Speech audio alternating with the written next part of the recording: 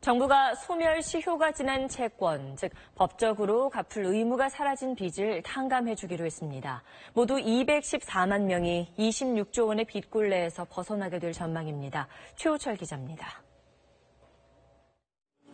빚 탕감 대상은 장기간 연체되면서 법적으로 갚을 의무가 사라진 채권들입니다. 소멸 시효가 지나 어차피 금융회사가 받을 수 없는 이른바 죽은 빚인 겁니다. 그동안 일부 대부업체들은 이런 채권을 헐값에 사들인 뒤 연체이자까지 얹어 빚 독촉을 해오면서 사회 문제가 됐습니다. 우선 공공금융기관이 보유한 21조 7천억 원의 채권이 다음 달 말까지 소각됩니다. 채권의 전산과 서류상 기록이 아예 없어진다는 겁니다. 대부분은 IMF 사태 등으로 대출금을 갚지 못한 채권들로 소각으로 모두 123만 명이 혜택을 보게 됩니다. 정부는 이와는 별도로 민간 금융회사들이 보유한 소멸시효 완성 채권도 연내 소각을 추진합니다. 모두 91만여 명이 보유한 4조 원 규모인데 정부는 민간 금융사의 자율 소각을 유도하기로 했습니다.